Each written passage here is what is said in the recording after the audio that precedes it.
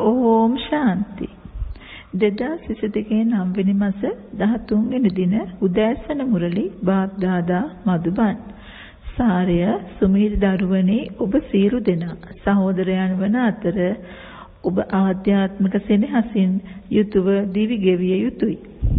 සතුට පිරිනමන්නන් වී සියලු දෙනාට සතුට ලබා දෙන්න. ගුණදම් අහුලා ගන්න. අයවන්න. ප්‍රශ්නය ඔබ අතරේ ආධ්‍යාත්මික සෙනෙහස නොතිබීමට හේතුව කුමක්ද? ආධ්‍යාත්මික සෙනෙහස තිබිය හැක්කේ කෙසේද? පිළිතුර ශරීර අවධානයේ තිබෙන විට ඔබ එකිනෙකාගේ දුර්වලතා දෙස බලයි. එබැවින් ආධ්‍යාත්මික සෙනෙහස නොමැත. ඔබ ජීවාත්ම අවධානයට පත්වන විට එමෙන්ම ඔබගේ දුර්වලතා ඉවත් කිරීමේ සැලකිල්ල තිබෙන විට සතුව ප්‍රදාන් වීම ඔබගේ අරමුණ වන විට සහ ඔබ බොහෝ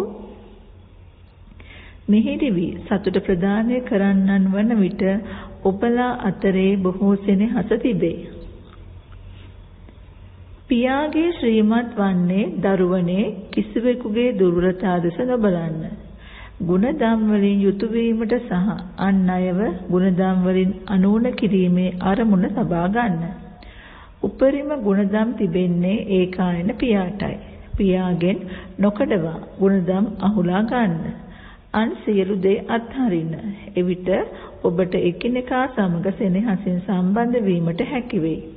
ඕම් ශාන්ති අසීමිත පියා ඔබව දැන් සත්ව ප්‍රදාන් බවට පත් කරවන අතර ඔබට එසේ වීමට ප්‍රධාන ක්‍රමවේදය පෙන්වා දෙන බව ඔය දරුවන් දන්නවා.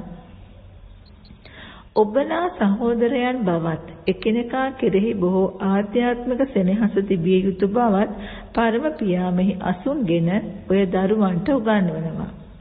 ඔබට සැබවින්ම එය තිබුණු නමුත් එය තව දුරටත් ඔබට නොමැත. අශාරීරික ලෝකයේදී සෙනෙහස පිළිබඳ ප්‍රශ්නයක් නැත. අසීමිත පියා මෙහි අසුන්ගෙන ඔබට මෙම ඉගැන්වීම ලබා දෙනවා.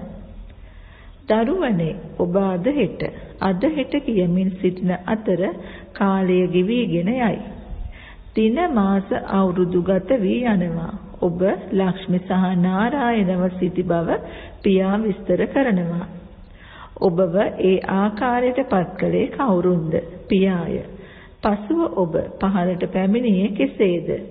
ඔබ ඉහළ සිට පහළට බසිමින් පැමිණි අතර නොකඩවා කාලය ගෙවි ගියේය. එම දින ගෙවි ගොසින්, එම මාස ගෙවි ගොසින්, එම වසරද ගෙවි ගොස් ඇත. එබැවින් කාලයේද ගෙවි ගොස් ඇත. ඔබ ප්‍රථමයෙන් සත්ව ප්‍රදාන් වූ බව ඔබ දන්නවා. ඔබලා අතර බොහෝ සෙනෙහස තිබුණේ. පරම පියා මෙම ඉගැන්වීම් ලබා දුන්නේ ඔය සහෝදරයන්ටයි. ඔය සහෝදරයන් අතර එකිනෙකා කෙරෙහි බොහෝ සෙනෙහස තිබිය යුතුය.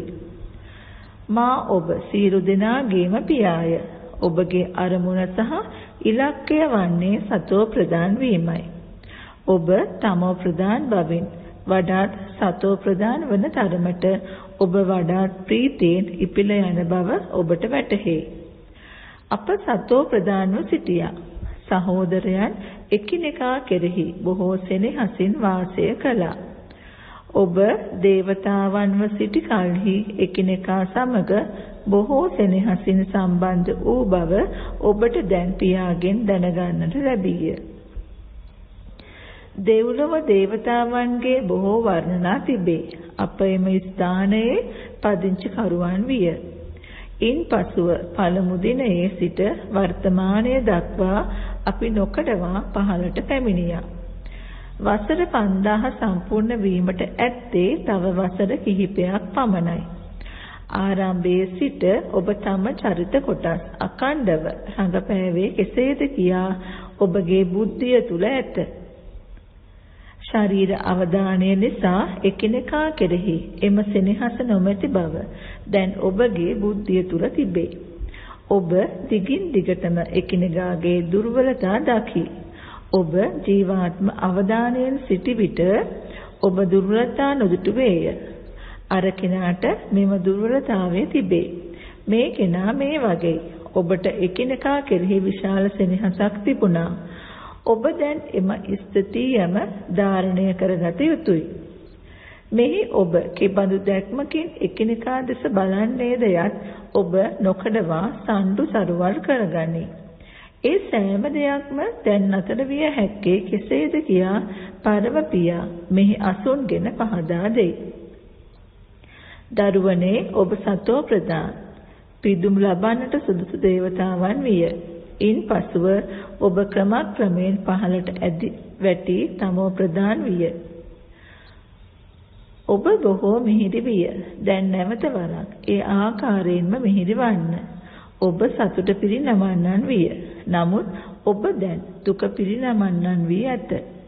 රාවණගේ රාජධානියේ සෑම කෙනෙක්ම එකිනෙකාට දුක ගෙන දී රාගයේ අසිපත භාවිත කළා. ඔබ සත්ව ප්‍රදානව සිටි විට ඔබ රාගයේ අසිපත භාවිත නොකළේය. එම පාපයන් පහ ඔබගේ විශාලතම සතුරාය. මෙය රාවණගේ රාජධානිය බැවින් මෙය දූෂිත ලෝකයයි. රාමාගේ රාජධානිය කුමක්ද? රාවණගේ රාජධානිය කුමක්ද කියා ඔබ දන්නවා. ඔබ අද හෙට කියමින් සිටි අතර ස්වර්ණමය යුගය අවසන් විය. සිද්ධි යුගය අවසන් විය. තඹ යුගය අවසන් විය. එමෙන්ම දැන් කලි යුගයද අවසන් වීමටයි යන්නේ. ඔබ පහළට පැමිණෙන අතර සත්ව ප්‍රදාන් බවින් තමෝ ප්‍රදාන් විය. ඔබගේ එම ආධ්‍යාත්මික සතුට දැන් අතුරුදහන්ව ඇත. ඔබ දැන් සත්ව ප්‍රදාන් විය යුතුය. මා පැමිණ සිටිනවා එබැවින් මා අනිවාර්යෙන් ඔබව සත්ව ප්‍රදාන් කරවනවා. පරම පියා පහදා දෙයි දරුවනේ මා පැමිණෙන්නේ වසර 5000කට පසු එය සංගම යුගය වන විටයි. මා ඔබට පවසන්නේ නැවත වරක් සත්ව ප්‍රදාන් වන්න. තමන් ජීවාත්ම බව සලකා පියා සිහි කරන්න. ඔබ වැඩියෙන් ඔහු සිහි කරන පමණට ඔබගේ දුර්වලතා වැඩියෙන් ඉවත් වෙයි. ඔබ සත්ව ප්‍රදාන දේවතාවන්ව සිටි විට ඔබට දුර්වලතා තිබුණේ නැත. දැන් එම දුර්වලතා ඉවත් කරන්නේ කෙසේද? අසාමය දැනෙන්නේ ජීවාත්මයටයි. ඔබ අසාමයෙන් සිටින්නේ ඇයිද කියා දැන් Tamanගේ ඇතුළාන්තය පරීක්ෂා කර බලන්න. ඔබ සහෝදරයන්ව සිටි විට ඔබලා එකිනෙකා අතරේ බොහෝ සෙනෙහස තිබුණි. එම පියාම දැන් නැවත වරක් පැමිණ සිටි. ඔහු පවසන්නේ Taman ජීවාත්ම සහෝදරයන් බව සලකන්න. එකිනෙකා කෙරෙහි බොහෝ සෙනෙහස ඇති කර ගන්න. ඔබ එකිනෙකාගේ දුර්වලතා දෙස බලන්නේ ඔබ ශරීර අවධානයට පත්වන නිසා පමණයි. පියා දැන් පවසන්නේ දැන් උසස් තත්ත්වයක් ලබා ගැනීමට උත්සාහ දරන්න. පියා ඔබට ඔබගේ නව ලෝකයේ උරුමය ලබා දී උපත් 21කට ඔබව පිළිපුන් කළ බව ඔබ දන්නවා. පියා දැන් නැවත වරක් පැමිණ ඇත. එබැවින් අප ඔහුගේ උපදෙස් පිළිපැද නැවතත් අපගේ සම්පූර්ණ උරුමය හිමි කර නොගන්නේ මන්ද? ඔය මිහිරිතම දරුවන් බොහෝ නිසෝල්මන් විය. ඔබට කිසිම මත ගැටුමක් තිබුණේ නැත. ඔබ කිසිදා කිසිවෙකුට අපහාස නොකළේය. දැන් ඉන් සමහරක් තිබේ. ඒ සියල්ල අමතක කළ යුතුය. අප සියලු දෙනාම සහෝදරයන්. ඔබ ඒකායන පියා සිහි කළ යුතුය. එක් සැලකිල්ල පමණක් තබා ගන්න. ඔබ විගසින් තමෝ සතෝ ප්‍රදාන වන බවට අහවලා මේ වගේ අහවලා මෙසේ පැවසුවා. ඒ සියල්ල අමතක කරන්න. ඒ සියල්ල පස්සෙකට දමන්න. පරම පියා පවසන්නේ Taman ජීවාත්ම බව සලකන්න. සතෝ ප්‍රදාන් වීමට උත්සාහ දරන්න. අන් අයගේ දුර්වලතා දෙස නොබලන්න. ඔබ දුර්වලතා දෙස බලන්නේ ශරීර අවධානයට පැමිණි විට පමණයි. තමන් ජීවාත්ම බව සලකා පියා සිහි කරන්න. ඔබ එකිනෙකාව සහෝදරයන් ලෙස දකින විට ඔබ ගුණධම් පමණක් දකීවි. දුර්වලතා නොදකින්න. අන් අයට ගුණධම් වලින් යුතු අය වීමට මඟ පාදන්න. එවිට ඔබට කිසි විටක දුකක් නොදැනෙන්නේ. සමහර මිනිසුන් යම් වැරදි දේ සිදු කළත් ඔවුන්ට අජෝ හෝ තමෝ ප්‍රදාන බවත් එබැවින් ඔවුන්ගේ ක්‍රියා අනිවාර්යෙන් ඒ අනුව වන බවත් ඔබට වටහා ගත හැකිය. ඔබ කතරම් දුරට සතෝ ප්‍රදාන් වී ඇතිද කියා Tamanව පරීක්ෂා කර බලන්න. උපරිම ගුණධම් තිබෙන්නේ පියාටයි. එබැවින් පියාගෙන් මෙම ගුණධම් අහුලා අන් සියලු දේ අත්හරින්න. දුර්වලතා අතහැර ගුණධම් ධාරණය කරගන්න. පියා ඔබව බොහෝ ගුණධම් වලින් යුතු අය බවට පත් කරවයි. ඔහු පවසන්නේ ඔය දරුවන් මා මෙන් විය යුතුය. පියා සෑම විටකම සතුට ප්‍රදානය කරන්නාය. එබැවින් සෑම කෙනෙකුටම සතුට ලබා දීමටත් සතුව ප්‍රදාන වීමටත් නිරන්තරයෙන් සැලකිලිමත් වන්න. වෙනත් කිසිවකට සවන් නොදෙන්න. කිසිවෙකුට අපහාස නොකරන්න. සෑම කෙනෙකු කෙනෙක් තුළම අනිවාර්යෙන් දුර්වලතා තිබේ. දුර්වලතා කෙබඳු යත් ඔබට ඒවා තිබෙන්නේද කියාවත් ඔබට අවබෝධයක් නැත. යමෙකුට එම දුර්වලතා තිබෙන විට අන් අයට එය අවබෝධ වෙයි. සමහරු Taman ඊටා හොඳ බව සලකන නමුත් විටක ඔවුන්ගෙන් වැරදි වචන මතුවේ. ඔබට සතෝ ප්‍රදාන මනෝ ස්ථතියක් තිබෙන විට එවන් දේ සිදු නොවේ. ඇතමුන්ට දුර්වලතා තිබෙන නමුත් වටහා නොගැනීම නිසා Taman ඊටා දක්ෂ බව ඔවුන් සලකයි. පියා පවසන්නේ දක්ෂතම කෙනා මමයි. මා පැමිණ සිටින්නේ ඔබ සියලු දෙනාව මිහිදි කරවීමටයි. එබැවින් ඔබට ඇති සියලුම දුර්වලතා අත්හැර ගන්න. Tamangeema නාඩි පරීක්ෂා කර බලා ඔබ මිහිරිතම ආධ්‍යාත්මික පියාට කෙතරම් ආදරය කරන්නේද කියා බලන්න. ඔබටම කෙතරම් වැටහෙනවාද?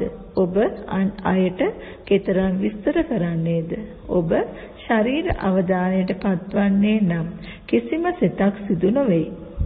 පියා පවසන්නේ ඔබ බොහෝ වාර ගණනාවක් තමෝ ප්‍රදාන් බවින් සතෝ ප්‍රදාන් වී තිබේ.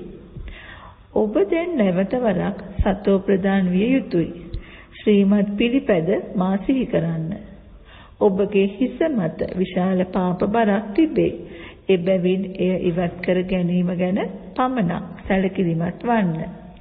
දේවතාවන්ට පාරිශුද්ධත්වයේ ආකර්ෂණය තිබෙන නිසා මිනිසුන් දේවතා ප්‍රතිමා ඉදිරියට ගොස් මෙසේ පවසයි. මා පව්කාරයෙක්. ඔවුන්ගේ ප්‍රශංසාව ගැයෙන්නේ මේ නිසාය. ඔබ සියලු ගුණධම් වලින් පිරිපුන් දිව්‍යමය කලා 16කින් පිරිපුන්ය.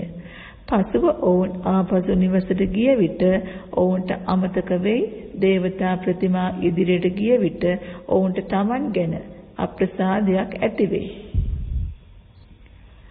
පසුව ඔවුන් ආපසු නිවසට ගිය විට Taman කෙරෙහි එම අප්‍රසාදය තව දුරටත් නොතිබේ.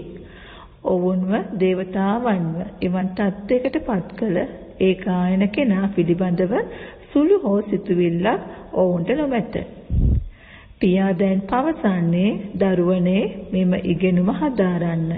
ඔබට දේවතාවන් වීමට අවශ්‍ය නම් ඔබ මෙය ඉගෙනගෙන ශ්‍රීමත් පිළිපැදිය යුතුය. ප්‍රථමයෙන්ම පියා පවසන්නේ ඔබ තමන්ව සතෝ ප්‍රදාන් කළ යුතුය. එබැවින් නිරන්තරයෙන් මා පමණක් සිහි කරන්න. ඒ සමගම ඔබ දිව්‍යමය ගුණ ධම්ද ධාරණය කරගත යුතුය. තමන් සහෝදරයන් බව සලකා ඒකායන පියා සිහි කරන්න. ඔබ පියාගෙන් ඔබගේ උරුමය හිමි කරගත යුතුය. ඔබට මෙයත් ඔබගේ බුද්ධි තුල තිබේ. එක අතකට මිනිසුන් ඔහුට ප්‍රශංසා කරන අතර පසුව ඔවුන් කිසිවක් නොදන්නා බැවින් ඔවුන් ඔහුට අපහාසද කරයි. ඔහු බල්ලන් බලලුන් තුල සිටින බවත් සියල්ලන් දෙවියන්ගේ ස්වરૂප බවත් ඔවුන් පවසයි. හැකි පමණින් පියා සිහිපත් කිරීමට උත්සාහ දරන්න. පෙරද මිනිසුන් දෙවියන්ව සිහි කළ නමුත් එය මිශ්‍ර සිහි කිරීමය. එය බොහෝ දෙනෙක්ව සිහි කිරීමය. පියා දැන් පවසන්නේ අමිශ්‍ර සිහි කිරීම. ඇතිකර සරලව මා පමණක් සිහි කරන්න. ඔබ භක්ති මාර්ගයේ සිහි කරමින් සිටි ඒ සෑම කෙනෙක්ම දැන් තමෝ ප්‍රදාන් වී ඇත. ජීවාත්ම තමෝ ප්‍රදාන්‍ය. එමෙන්ම ඔවුන් තමෝ ප්‍රදාන් බැවින් ඔවුන් සිහි කරන්නේද තමෝ ප්‍රදාන් ජීවයන්ව පමණයි. ඔබ දැන් නැවත වරක් සතෝ ප්‍රදාන් විය යුතුය. එහිදී ඔවුන්ට කිසිවෙකු සිහි කිරීමට භක්තිය නොමැත. පියා පහදා දෙන්නේ දරුවනේ සත්ව ප්‍රදාන් වන්නේ කෙසේද යන්න ගැන පමණක් සැලකිලිමත් වන්න. දැනුම ඊට පහසුයි. ඔබට බැජ් එක භාවිත කරමින්ද විස්තර කළ හැක. මේ අසීමිත පියාවන අතර මේ අපට ඔහුගෙන් හිමිවන උරුමයයි. පියා දිව්‍ය ලෝකයේ ස්ථාපිත කරයි. එය සිදුවන්නේ මෙහිදී පමණයි. ශිවාගේ උපන් දිනය anu දිව්‍ය ලෝකයේ උපන් දිනයයි. දේවතාවන්ව නිර්මාණය කෙරුණේ කෙසේද? ඔවුන් මේ බවට පත් වූයේ මෙම සංගම යුගයේදී. මෙම ඉගෙනුම හැදෑරීමෙන්නේ. සෑම දෙයක්ම රඳා පවතින්නේ ඉගෙනුම සහ සිහිකිරීම මතයි. සිහිකිරීමේ වන්දනා ගමනේ සිටීමෙන් ඔබට වෙනත් දේවල් අමතක වෙයි. පියා නොකඩවා විස්තර කර දෙයි. දරුවනේ ශරීර අවධානය අත්හරින්න. කිසි කෙනෙකුගේ දුර්වලතා දෙස නොබලන්න. අහවලා මේ වගේ වන අතර මෙවැනි දේවල් කරයි. එවන් දේවල යහපත නැත. එය කාලය අපතේ හැරීමක් වනවා. තමෝ ප්‍රදාන් බවින් සතෝ ප්‍රදාන් වීමට බොහෝ උත්සාහයක් අවශ්‍ය වෙනවා. බාධකද තිබේ. සිහිපත් කිරීමේ තරම් කුණාටු ඉගෙනුමේ නැත. ඔබ keteram දුරට පියාගේ සිහිපත් කිරීමේ සිටනවාද? එමෙන්ම ඔබ keteram ප්‍රමාණයකට පියාට සෙනෙහස දක්වනවාද කියා බැලීමට ඔබ Tamanව පරීක්ෂා කර බැලිය යුතුය. keteram සෙනෙහසක් තිබිය යුතුද යත් ඔබ පියාට එල්ලී සිටිය යුතුය. අපූර්වයි බාබා ඔබ අපව බොහෝසේ නුවණැත්තන් කරවනවා. ඔබ උසස්ම උසස් කෙනා වන අතර ඔබ අපව මනුෂ්‍ය ලෝකයේ බොහෝ ශ්‍රේෂ්ඨත්වයට පත් කරවනවා. මේ ආකාරයෙන් ඔබ ඇතුළතින් පියාව ප්‍රශංසා කළ යුතුය. බාබා ඔබ විශ්මයන් සිදු කරනවා. ඔබ සතුටින් ඉපිර යා යුතුය. මෙසේ කියයි. සතුට තරම් පෝෂණයක් නැත. එබැවින් පියාව මුණ ගැසීමේ සතුටද තිබේ. අප මෙම ඉගෙනුම තුලින් මෙය බවට පත්තේ. විශාල සතුටක් තිබිය යුතුය. අසීමිත පියා, පරම පියා අපට උගන්වනවා බාබා බොහෝ දයාවන්තයි. අප පෙරද දෙවියන්ගේ වැකිවලට සවන් දුන් නමුත් ඒවා ව්‍යාජ වූ නිසා අපගේ හදවත් ඒවයින් ස්පර්ශ වූයේ නැත. දෙවියන් ගල් සහ වැලිවල සිටින්නේ නම් ඔහු කතා කරන්නේ කෙසේද? වෙනත් කිසිවෙකුගේ බුද්ධියේ නොමැති අලුත් දේ රාශියක් ඔබගේ බුද්ධි තුල තිබේ. ඔබ තව දියුණුවත්ම ඔබගේ දේවතා වෘක්ෂයේ වැඩේ. පියා පවසන්නේ Taman ජීවාත්ම බව සලකා පියාව සිහිපත් කරන ලෙසත්. එවිට ඔවුන්ගේ පාපයන් දුරු වෙයි. යන පණිවිඩය සෑම කෙනෙකුටම දෙන්න. එවිට ඔබ ලෝකයේ අධිපතියන් වෙයි. වෙනත් කිසිම ආගම් නායකයෙකුට මෙසේ කිව නොහැක. ඔවුන් පණිවුඩකරුවන් ලෙස හැඳින්විය නොහැක්කේ මේ නිසාය. මෙම පණිවිඩය ලබා දෙන්නේ ඒකායන පියා පමණයි. නිරන්තරයෙන් මා සිහිපත් කරන්න. එවිට ඔබ සත්ව ප්‍රදාන් වී සත්ව ප්‍රධාන ලෝකයට පැමිණේ. පියාගේ පණිවිඩය මෙයයි.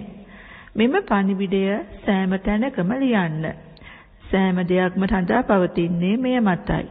යුරෝපීය ජාතිකයන්ට චක්‍රය සහ ගසෙහි පින්තූරවල මුළු දැනුමම ගැබ්වී තිබේ. ලෝකයේ ඉතිහාසය සහ භූගෝලය නැවත නැවතත් ඒ ආකාරයෙන්ම සිදුවන බව ඔවුන්ට සරලව පවසන්න. එවිට ඔවුන් විස්මයටපත් වේ. අමරනාථ බාබා අමරණීයත්වයේ ස්වාමි ඔබ අමරණීය දේශයට ගෙන යාම සඳහා අමරණීයත්වයේ සත්‍ය කතා පුවත පවසනවා. එය අමරණීයත්වයේ දේශයයි. පහළින් තිබෙන මෙය මරණීය දේශයයි. ඉනිමග තිබේ. අප දැන් ඉහළ නගින අතර ඉන්පසුව අප අංක පිළිවෙලට පහළට පැමිණේ. ඔබට මෙය පවසන්නේ ශිව බාබා බව සෑම විටකම සලකන්න. සරලව නොකඩවා ඔහු පමණක් සිහිපත් කරන්න. එවිට සතුට ඇතිවේ. ශිව බාබා මෙම කෙනා තුලට ඇතුළු වී ඔය දරුවන්ට උගන්වයි. අපි ආශ්චර්යමත් යුවලක්. බාබා මෙම කෙනාට පවසන්නේ ඔබ මගේ බිරිඳයි. මා දරුවන්ව හදාගන්නේ ඔබගේ මාර්ගයේ. ඉන්පසුව ඔහු හදාගත් එක් දරුවෙක්ව මව්වරුන් රැකබලා ගැනීමට පත් කරයි. විශාලතම ගංගාව බ්‍රහ්ම පුත්‍රයයි. ඔබ මෙම කෙනාට පවසන්නේ මමත් ඔබයි පියත් ඔබයි කියා. බාබාම පවසන්නේ ඇවිදින විට සහ එහි මෙහි යන එන ගමන් මා බොහෝ සතුටින් පියාව සිහි කරනවා. ඔබ සිහිපත් කිරීමේ සිටමින් කෙතරම් දුරක් ඇවිද්දත් ඔබට වෙහෙසක් නොදැනේ. ඔබ වැඩියෙන් සිහිපත් කිරීමේ සිටන තරමට වැඩියෙන් දීප්තියක් තිබේ. මිනිසුන් විශාල සතුටකින් උද්‍යෝගයෙන් ඊතා උස තැන්වලට වන්දනා ගමන් යයි. ඒ සියල්ල භක්ති මාර්ගයේ සැරිසැරීමයි. මෙයද නාටකයකි. භක්තිය රාත්‍රියයි. දහවල දැන් ඔබ වෙනුවෙන් පැමිණෙනවා අච්චා. සුමිහිරි ආදරණීය බොහෝ කලක් නැති වී සිට දැන් හමුවන දරුවන්ට ඔබගේ මව පියා බාප් දාදා සෙනෙහසින් සිහිපත් කර සුබ උදෑසනක් ප්‍රාර්ථනා කරයි. ආධ්‍යාත්මික පියාගෙන් ආධ්‍යාත්මික දරුවන්ට নমස්කාර. ආධ්‍යාත්මික දරුවන්ගෙන් ආධ්‍යාත්මික පියාට নমස්කාර. දානය සඳහා සාරාංශය 1 ඔබ සෑම විටකම ඒ කායන පියා මත එල්ලී සිටින තරමටම පියා කෙරෙහි සෙනෙහසින් සිටින්න. දිවා රාත්‍රියේ පියාව පමණක් වර්ණනා කරන්න. සතුටින් ඉපිල යන්න. දෙක ඒ කායන පියාගේ අමිශ්‍ර සිහිපත් කිරීමේ සිට සතෝ ප්‍රදාන වන්න. Taman ඊතා දක්ෂ බව කිසි විටක නොසලකන්න.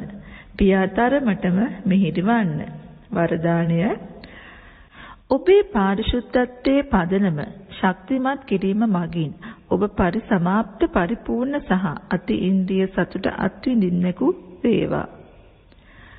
පාරිශුද්ධත්වය බ්‍රාහ්මීන් දිවියේ පදනම වේ. ඔබේ මෙම පදනම ශක්තිමත් වූ කල ඔබ සම්පූර්ණ සතුට හා සාමය අත්විඳීවි. ඔබට අති ඉන්ද්‍රිය සතුට සහ සුමිහිරි නිහඬතාවය ස්වල්පයක් නම් තිබෙන්නේ එවිට ඔබේ පාරිශුද්ධයේ පදනම නියත වශයෙන්ම දුර්වලය. මෙම පොරොන්දුව ඉටු කිරීම සුළුපටු දෙයක් නොවේ. පාරිශුද්ධයේ පොරොන්දුව ඉටු කරන ජීවාත්මයන් හට බාබ්දාදා සිය හදවතින්ම වරයන් සමග සුබ පැතුම් දෙනවා. මෙම පොරොන්දුවෙන් සම්පූර්ණ සහ පරිසමාප්ත බවට පත්වීමේ වරය ලබා ගැනීම සඳහා අපත දේවල් සිතීම දැකීම පැවසීම ආදියට නැවතුමක් තබා පරිවර්තනය ඇති කරන්න. පාඨය ගැඹුරින් ඒකායනය තුල ගිලී ගොස් සිටීම යනු උදේකලා වාසියක වීමයි. ඕම් ශාන්ති.